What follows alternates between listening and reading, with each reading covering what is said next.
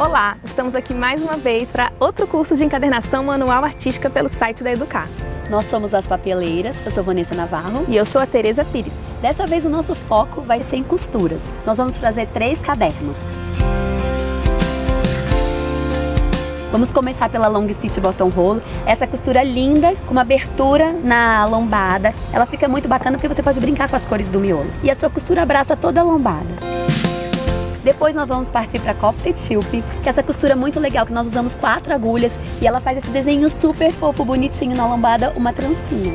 E depois vamos partir para uma aula bônus, que é uma releitura da Codex, uma versão mais moderna, mais prática, mais simples, e ela usa um couro e abraça a sua capa, como você pode observar.